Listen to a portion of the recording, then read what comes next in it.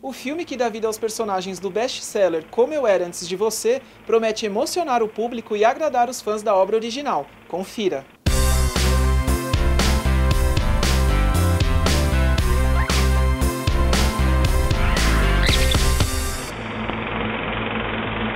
Como Eu Era Antes de Você conta a história de duas vidas que terão seus caminhos cruzados depois de uma casualidade do destino. Will é um cara bem sucedido que um dia sofre um terrível acidente. Preso a uma cadeira de rodas, ele contrata uma garota para cuidar dele nesse momento delicado de sua vida.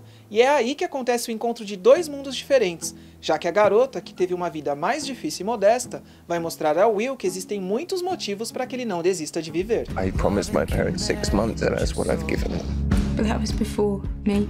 I want him to live, but only if he wants to live. I can't just let this happen. You can't change who people are. I mean, what can you do? You love them. O filme é o trabalho de estreia da diretora Tia Sherrock e tem produção dos mesmos responsáveis de A Culpa é das Estrelas e 500 Dias com Ela.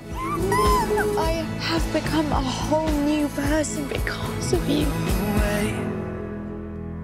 O roteiro foi assinado por Jojo Moyes, que também escreveu o livro que inspirou o longa.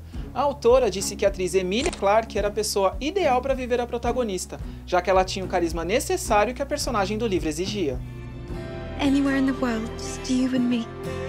What do you say? Say yes, Will. Go on. Conheça a emocionante história de Will a partir de 16 de junho nos cinemas e descubra como esses personagens vão ensinar um ao outro a viver intensamente.